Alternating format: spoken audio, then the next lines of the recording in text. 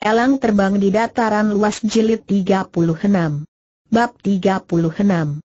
Saatnya masuk neraka karena racun semacam ini memang ditularkan melalui mata, asal kau memandangnya sekejap, maka kau pun ikut tertular, kata Pancapanah, di kolong langit masih terdapat banyak macam racun penyakit, virus, yang dapat menyebar dan menular pada orang lain.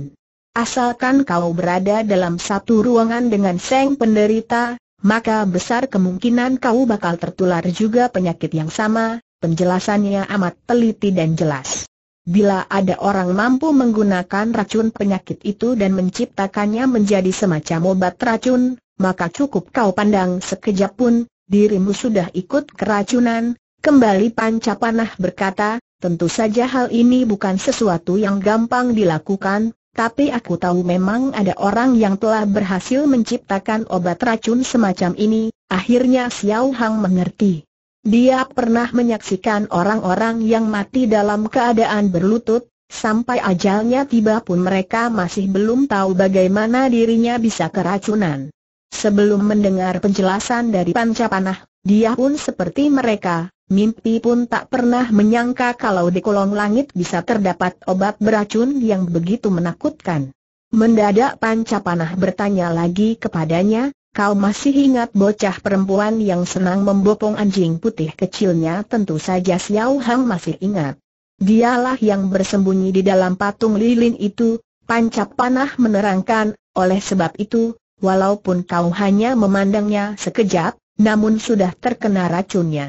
Racun jahat tak berwarna, tak berwujud, dan tak berbau, karena itu siapa pun yang berani memasuki pintu kantor dagang Engki, mereka segera mati secara mengerikan benar, dengan wajah serius dan bersungguh-sungguh pancapanah berkata pula, semua itu bukan ilmu sihir, bukan ilmu tenung, tapi racun jahat yang berhasil diramu setelah melakukan penelitian dan percobaan yang berat dan sulit, untuk menghindari keracunan saja sudah teramat sulit, apalagi berusaha memunahkannya, tapi pada akhirnya kau berhasil juga mematahkan serangan itu, aku pun harus berpikir cukup lama, merencanakannya cukup lama, care apa yang kau gunakan menyerang dengan api? Kata Pancapanah, hanya menyerang dengan api.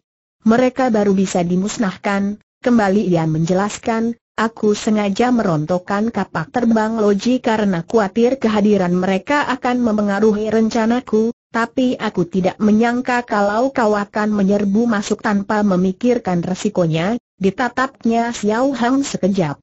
Semula kusangka kau adalah seorang yang tenang dan pandai mengendalikan diri, Xiao Hang tertawa getir.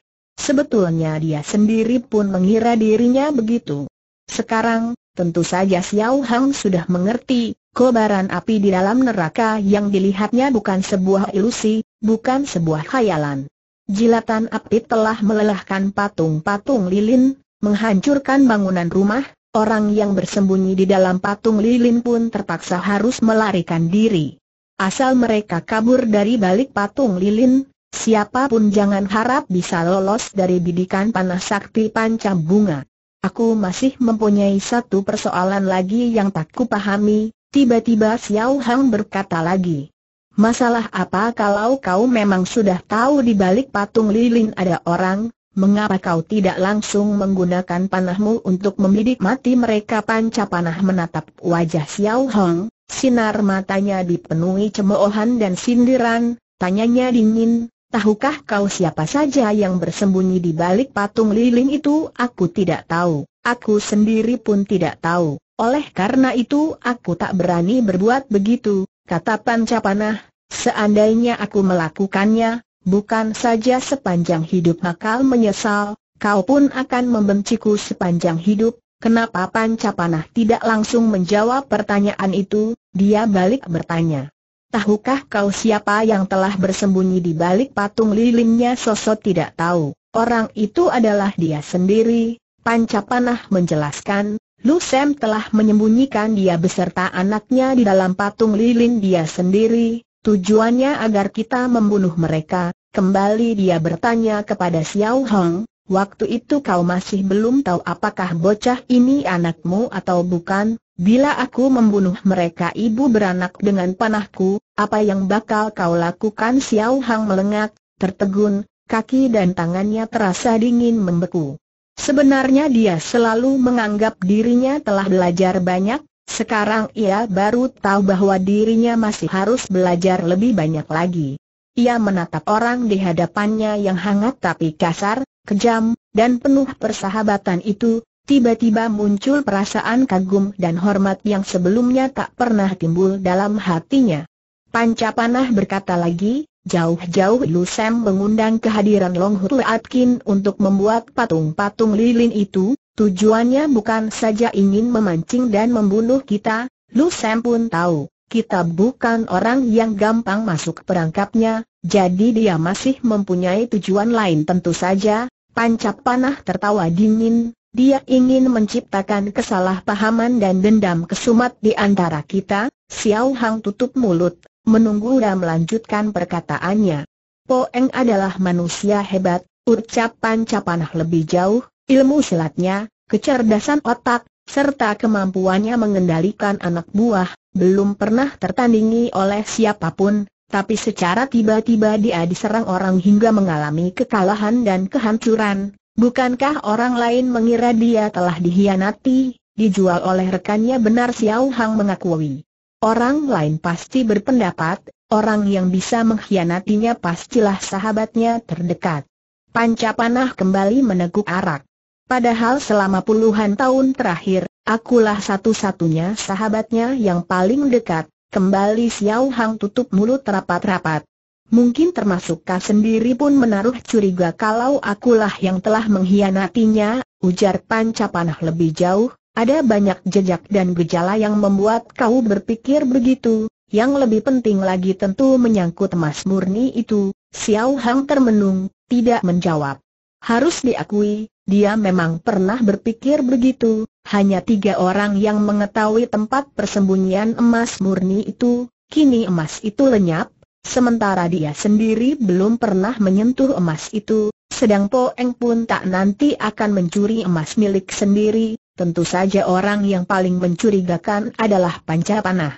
Andai kata Po Eng masih hidup, bisa jadi dia sendiri pun berpendapat begitu, ujar Panca Panah, Bila ada kesempatan, mungkin saja dia akan membunuhku di ujung pedangnya. Sekali lagi dia mengangkat cawannya ke arah Xiao Hang dan berkata lebih jauh, sekalipun dia percaya kepadaku, kau pun akan berpikir demikian, ketika kau menyaksikan patung-patung lilin itu, mungkinkah sudah berpikir akan hal ini, Xiao Hang tak dapat menyangkal.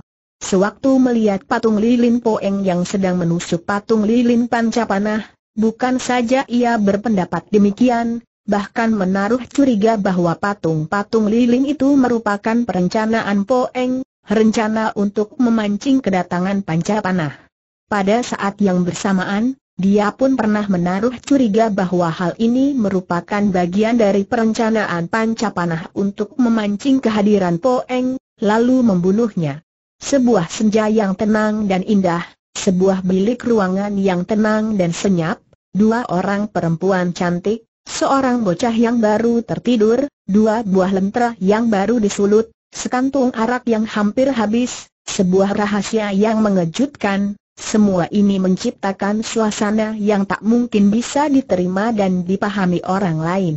Berada dalam suasana seperti ini, Xiao Hang sendiri pun tak tahu apakah dia sedang sadar atau mabuk. Sedang mabuk atau sadar? Kembali Panca Panah bertanya kepadanya, sekarang apakah kau sudah mengerti sudah? Kau tahu, sekarang telah tiba saat apa Xiao Hang menggeleng, dia memang tak tahu, dia sama sekali tidak paham apa maksud Panca Panah itu. Maka Panca Panah pun memberitahukan kepadanya, sekarang sudah saatnya untuk turun ke neraka, turun ke neraka tanya Xiao Hang, Siapa yang akan turun ke neraka? Kau panca panah meneguk habis tetesan terakhir arak dalam kantung, terusnya, kau yang akan turun ke neraka malam semakin kelam, cahaya lentera makin terang malam semakin larut, sinar lentera semakin memancarkan sinarnya menerangi seluruh sudut ruangan. Ada banyak kejadian di dunia seperti keadaan itu. Pancapanah mengeluarkan selembar peta dan diletakkan di atas meja, selembar peta yang terbuat dari kulit kambing. Peta ini meliputi daerah Giok Bun Kuan dan sekitarnya, termasuk gurun Gobi hingga puncak suci kota Lhasa. Pancapanah menerangkan, peta ini meliputi sebuah wilayah yang sangat luas, kira-kira mencapai lima laksa, lima ribu li, Kembali dia berkata, namun di wilayah yang amat luas ini, tidak banyak tempat yang berpenduduk dan ada kehidupan. Lukisan peta itu tidak terlalu detil, tidak ada gambar sungai, telaga maupun pegunungan, yang ada hanya lingkaran tinta merah yang menunjukkan kota atau desa penting kembali pancapanah bertanya kepada Xiao Hong, coba kau hitung, ada berapa lingkaran merah yang terdapat di lembaran peta ini Xiao Hong telah menghitungnya, maka segera menjawab. Semuanya berjumlah 191, pancapanah manggut-manggut tanda benar.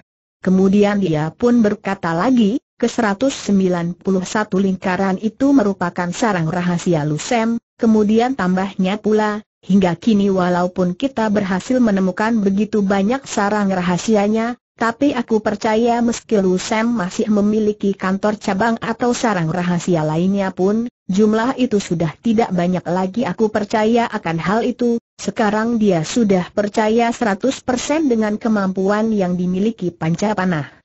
Sekarang kita harus berhasil menemukan Lu Sam, persoalan apa pun baru bisa diselesaikan apabila berhasil menemukan dirinya, Betul aku percaya kita pasti dapat menemukan dirinya di tempat-tempat itu, Xiao Hang pun percaya, sayang tempat yang harus mereka cari kelewat banyak. Tahukah kau, sebenarnya dia bersembunyi di sarang rahasianya yang mana tanya Xiao Hang? Tidak tahu, tak seorang pun tahu, panca panah menggeleng. Xiao Hang tertawa getir 191 desa dan kota yang tersebar di wilayah begitu luas, bagaimana mungkin mereka dapat menemukannya? Walaupun kita telah berhasil menyelidiki tempat di mana Lu Sam mungkin bersembunyi, akan tetapi selama ini kami tak pernah turun tangan pergi mencarinya, kata Panca Panah. Kenapa sebab kami tahu tak akan berhasil menemukan dirinya Panca Panah menjelaskan, kita tidak memiliki kekuatan manusia sebanyak itu, kekuatan yang bisa terbagi menjadi 191 rombongan dan secara terpisah pergi mencarinya, sekalipun kita berhasil menemukan jejaknya, kekuatannya saat itu pasti kecil sekali, Xiao Hang setuju dengan pendapat itu. Tempat persembunyian Lu Sam pasti dilengkapi dengan penjagaan yang amat ketat. Biarpun ada orang kita berhasil menemukan jejaknya, belum tentu mereka sanggup memberi perlawanan, ujar panca panah lagi, sekali kita gagal menggerobyoknya, jangan harap kita bisa menemukan lagi tempat persembunyiannya dengan gampang, tepat sekali, oleh karena itu kita tak boleh bertindak secara gegabah, apalagi menggebuk rumput mengejutkan ular, kita tak boleh melakukan perbuatan yang tidak yakin akan berhasil, jadi sekarang kau sudah punya keyakinan tak tahan Xiao Hang bertanya. Saat ini paling tidak aku telah menemukan sebuah care untuk menghadapinya, care apa sekarang walaupun kita masih belum berhasil menemukan dia, namun kita bisa menggiring orang itu agar menampakkan sendiri jejaknya, kau benar-benar mempunyai keyakinan untuk melakukannya tak tahan kembali Xiao Hang bertanya. Panca panah manggut-manggut, Sinar mata setajam melang selicik rasa segera terpancar dari tatapannya, dengan suara dalam ia bertanya, inginkah kau mendengarkan rencanaku ingin, tentu saja ingin sahut Xiao Hong. Pertama, kita harus menyiarkan berita agar Lu Sem tahu bahwa kita telah berhasil melacak ke 191 tempat persembunyiannya, kata Pancapanah, bahkan tak ada salahnya kita sebar luaskan gambar peta ini, agar dia percaya bahwa kita benar-benar memiliki kemampuan itu. Yang kedua setelah menderita kekalahan total kali ini, dia pasti tak akan berani memandang enteng kekuatan kita lagi, aku percaya dia tak pernah memandang enteng dirimu, kata Xiao Hong, siapa pun tak ada yang berani memandang enteng dirimu ketika dia mengetahui kita sudah mulai bersiap melakukan pergerakan, dia pasti akan memperketat penjagaan, lanjut Pancapanah, peduli ke mana pun pergi. Dia pasti akan segera menghimpun seluruh jagoan anak buahnya untuk mengintil di belakangnya, Xiao Hang segera memahami maksud tujuannya, asalkan dia mulai menggerakkan anak buahnya, kita pun segera akan berhasil melacak berada di manakah dirinya. Betul, sambil tersenyum pancap panah manggut-manggut, begitulah rencana yang kurancang. Ditatapnya wajah Xiao Hang lekat-lekat, kemudian katanya lagi, hanya saja, pergerakan kita kali ini sangat berbahaya, Lu Sam kaya raya dan luas pengaruhnya, jagoan yang menjadi anak buahnya juga banyak sekali, kita masih belum punya keyakinan untuk memenangkan pertarungan ini, aku mengerti, tapi kita tak boleh menyia-nyiakan kesempatan ini, kata Pancapanah lagi, mungkin inilah kesempatan kita untuk terakhir kalinya, aku mengerti, walaupun tahu bakal masuk neraka, kita tetap harus berangkat. Betul tapi kau tak boleh pergi, ujar Xiao Hong, kau masih ada tugas lain yang harus dikerjakan, kau tak boleh ikut menyerempet bahaya ini benar, Pancapanah mengakui secara gamblang maka dari itu. Aku hanya akan mengirim kau seorang, setelah menatap wajah Xiao Hong lanjutnya, bila salah satu di antara kita berdua harus mati, Terpaksa aku biarkan kau saja yang pergi mati, reaksi Xiao Hang aneh sekali. Dia tidak marah, tidak emosi, tidak pula membangkang, atau membantah, katanya hambar, baik. Aku yang pergi, bangunan rumah berwarna kuning emas, dinding berwarna kuning emas, lantai berwarna kuning emas, atap rumah berwarna kuning emas. Hampir setiap benda yang berada dalam bangunan rumah itu berwarna kuning emas. Kuningnya 100% kuning emas, sama dengan warna emas murni, dijamin tak ada bedanya. Karena bangunan rumah itu beserta keempat dinding dan atapnya terbuat dari emas murni, permukaan tanah pun dilapisi batu bata terbuat dari emas murni. Setiap benda yang ada di sana, semuanya terbuat dari emas, bahkan meja kursi sampai jendela pun terbuat dari lapisan emas murni. Karena pemilik rumah ini amat menyukai emas murni. Setiap orang pasti menyukai emas, tapi sedikit sekali orang yang bisa bertempat tinggal di rumah seperti ini. Biarpun emas murni itu menyenangkan, namun kelewat dingin, kelewat keras, kelewat tak berperasaan. Kebanyakan orang lebih suka duduk di sebuah bangku biasa, duduk di samping jendela kayu sambil minum arak dengan cawan yang terbuat dari batu kristal. Tapi tuan rumah pemilik bangunan ini amat menyukai emas murni. Emas murni yang dimiliki pun paling banyak di kolong langit, belum ada orang kedua yang dapat menandingi jumlah emas miliknya. Pemilik bangunan itu tak lain adalah Lusem bangku yang terbuat dari emas murni meski terasa dingin dan keras, namun Lusem duduk dengan begitu nyaman, jauh lebih nyaman daripada duduk di atas kasur. Seorang diri duduk dalam bangunan itu, menyaksikan semua benda yang terbuat dari emas murni, melihat cahaya emas yang berkilauan, biasanya merupakan saat yang paling menggembirakan hatinya. Dia suka sekali duduk seorang diri di sana, karena dia tak ingin orang lain ikut menikmati kegembiraannya, seperti dia tak ingin membagikan emas itu kepada siapa pun. Maka teramat jarang ada orang berani memasuki rumah itu, tidak terkecuali orang yang paling dekat pun. Tapi hari ini ada pengecualian. Kadar emas dari cawannya jelas lebih kental daripada kadar alkohol dalam arak yang diteguknya. Lu Sam perlahan-lahan meneguk arak dari cawannya, kemudian meletakkan sepasang kakinya yang bersih dengan kuku yang rapi di atas meja berlapiskan emas, ia membiarkan tubuhnya berbaring santai, membiarkan seluruh otot badannya mengendor. Hanya di tempat ini dia baru bisa minum arak, karena hanya orang yang paling dipercaya mengetahui letak tempat ini, khususnya selagi minum arak, tak pernah ada orang yang berani mengusiknya. Tapi hari ini, ketika dia siap meneguk arak untuk cawan kedua, tiba-tiba terdengar ada orang mengetuk pintu, bahkan tanpa menunggu izin darinya, ia sudah membuka pintu sambil melangkah masuk ke dalam. Lu Sam amat tak suka, namun perasaan tak senangnya itu sama sekali tak diperlihatkan pada wajahnya hal ini bukan karena orang yang mengetuk pintu sambil melangkah masuk adalah orang kepercayaannya, Suan. Mimik mukanya sama sekali tak menunjukkan perubahan apa pun, Hal ini dikarenakan dia memang bukan seseorang yang suka memperlihatkan rasa gusar, senang, atau sedihnya kepada orang lain, bahkan sewaktu mendapat kabar bahwa putra tunggalnya tewas di tangan Xiao Hang pun, parasnya sama sekali tidak memperlihatkan rasa sedih, gusar, maupun dendam. Dia memang tidak seperti panca panah. Paras panca panah selalu tampil sekeras batu granit, tak pernah memperlihatkan perasaan apa pun. Wajah Lu Sam dihiasi perasaan, hanya saja perasaan yang tampil di wajahnya sering kali tidak sama dengan apa yang dipikirkan di dalam hati. Sekarang biarpun ia merasa tak suka, namun wajahnya masih dihiasi senyuman penuh kegembiraan. Sambil tersenyum dia bertanya kepada Biao Swan, apakah kau pun ingin meneguk secawan arak? Ingin duduk dulu sambil menemani aku minum secawan tidak ingin, Jawab Biao Swan, tidak mau dia tidak seperti tuannya, apa yang dipikir dalam hati segera tampil dan tertera jelas di wajahnya.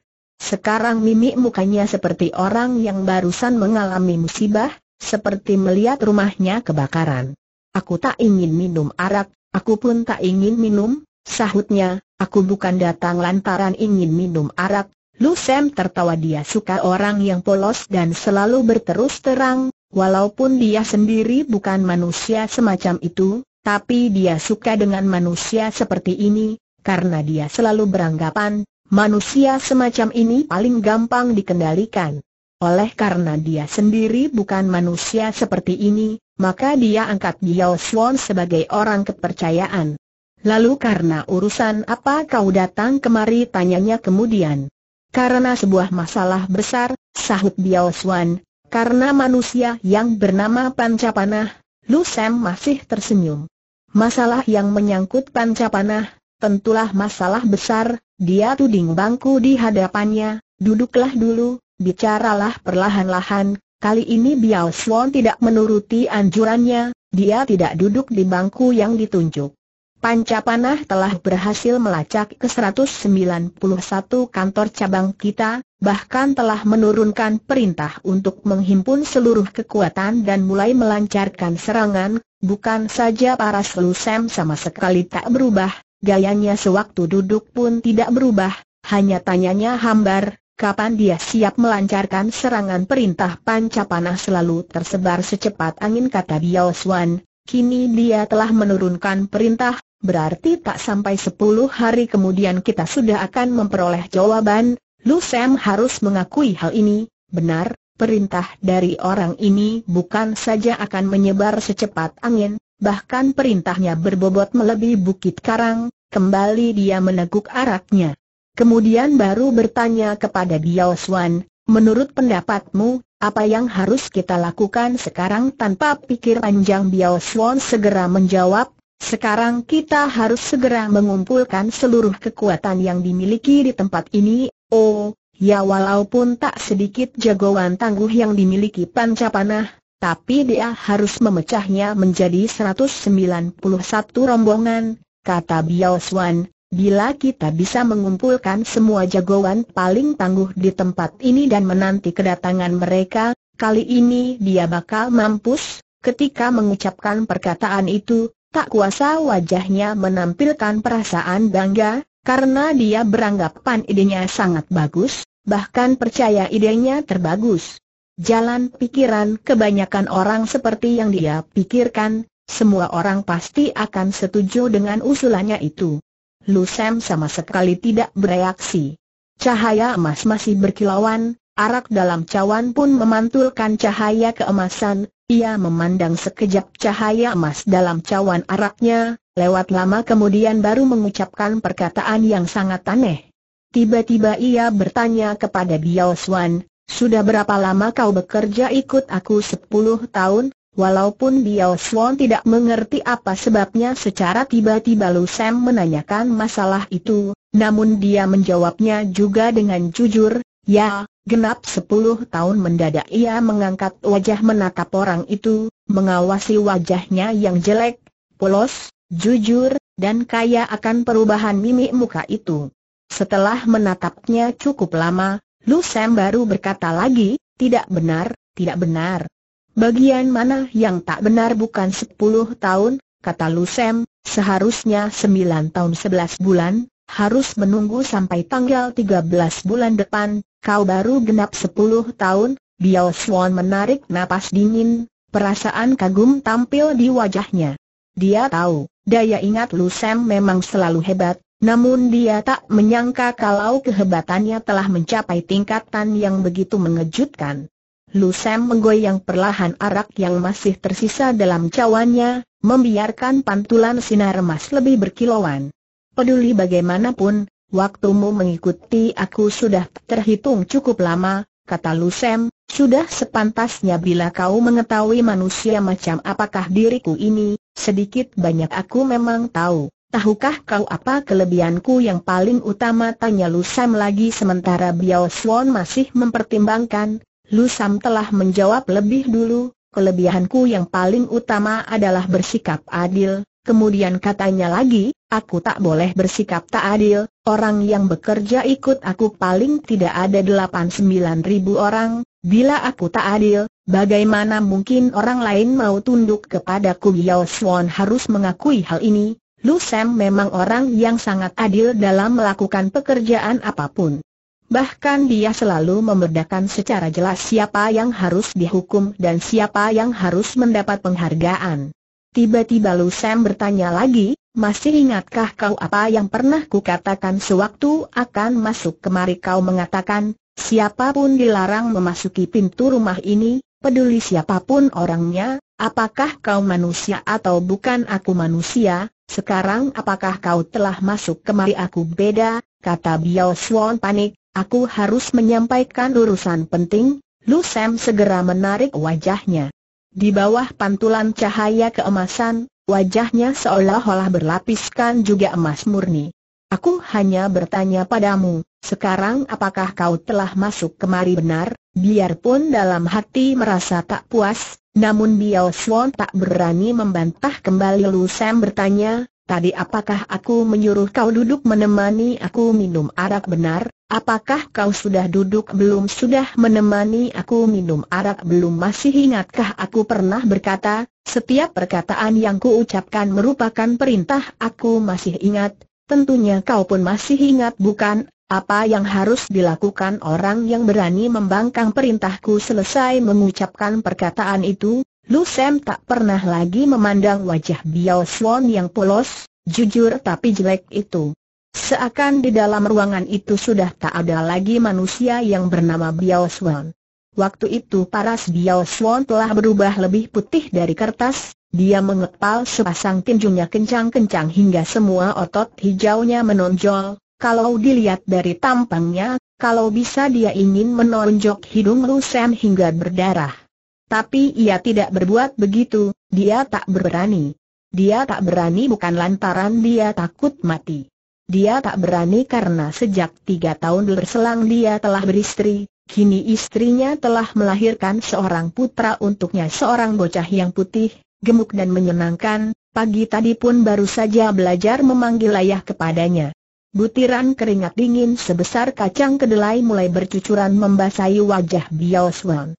Dia menggunakan tangannya yang berotot hijau untuk mencabut sebilah pisau belati dari sakunya, pisau yang tipis tapi tajam, kemudian menghujamkan pisau itu ke hulu hati sendiri. Seandainya peristiwa ini terjadi pada tiga tahun berselang, dia pasti akan menggunakan pisau belati itu untuk menusuk hulu hati Lu Sem, terlepas akan berhasil atau tidak, ia tetap akan mencobanya. Tapi sekarang ia tak berani, untuk mencoba pun tak berani. Putranya yang menawan, senyumannya yang manis, Suara panggilan ayah yang lucu dan menggelikan. Mendadak Biao Swan menusukkan pisau belatinya, langsung menusuk hulu hati sendiri. Ketika tubuhnya roboh terkapar, dalam pandangan matanya seolah muncul sebuah pemandangan yang sangat indah. Dia seolah menyaksikan putranya menginjak dewasa, lalu tumbuh menjadi seorang pemuda yang sehat dan kekar. Dia seolah menyaksikan istrinya yang meski tidak terlalu cantik, tapi sangat lemah lembut itu sedang memilih calon menantu untuk putra mereka. Walaupun dia pun tahu, pemandangan semacam ini tak lebih hanya ilusi menjelang kematiannya, namun dia justru percaya bahwa apa yang dilihatnya bakal menjadi kenyataan. Karena dia percaya Lu Sam yang adil pasti akan merawat dan memperhatikan kehidupan mereka berdua. Dia percaya kematiannya tak akan sia-sia, dia pasti memperoleh imbalan yang setimpal.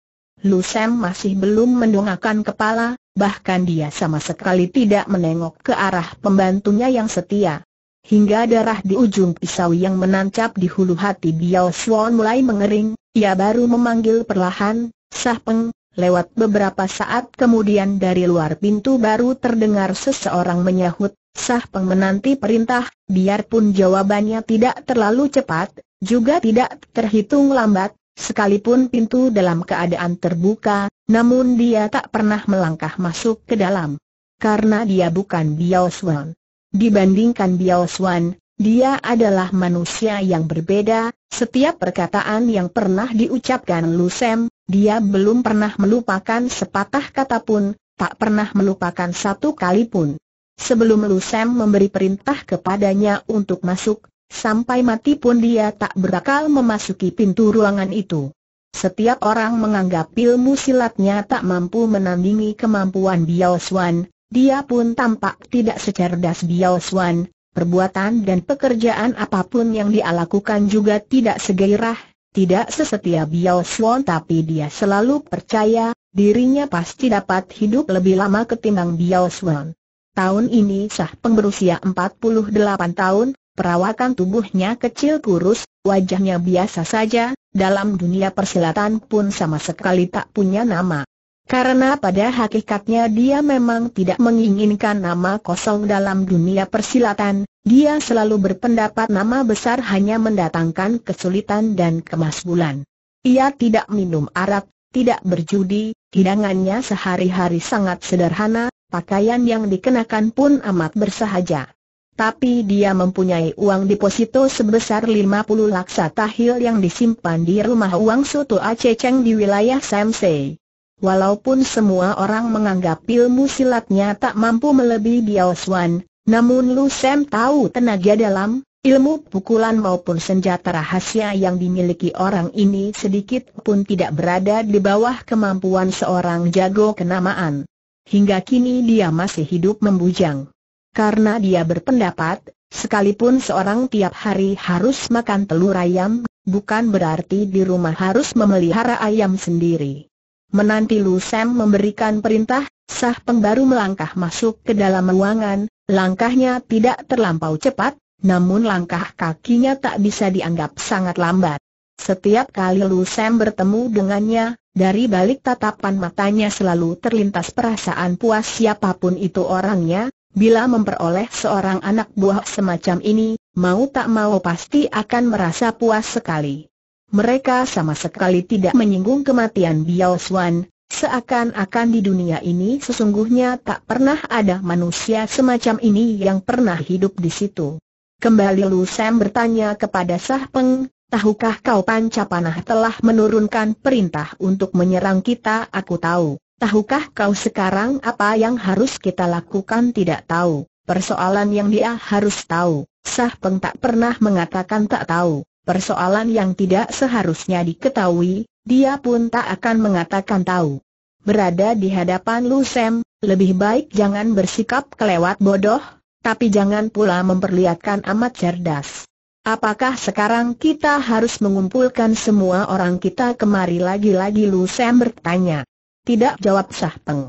Kenapa sebab hingga sekarang Pancap Panah masih belum tahu di mana kau berada? Sahut Sah Peng. Bila kita tidak memberitahukan kepadanya, selama hidup jangan harap dia bisa tahu. Kemudian tambahnya lagi, bila kita berbuat begitu, sama artinya kita telah memberitahukan kepadanya, Lu Sam tersenyum, kalau soal semacam ini pun telah kau pahami, seharusnya tahu juga bukan apa yang harus kita lakukan sekarang, aku tidak tahu. Jawab sah peng aku telah berpikir, tapi aku tak tahu harus berbuat apa agar tepat.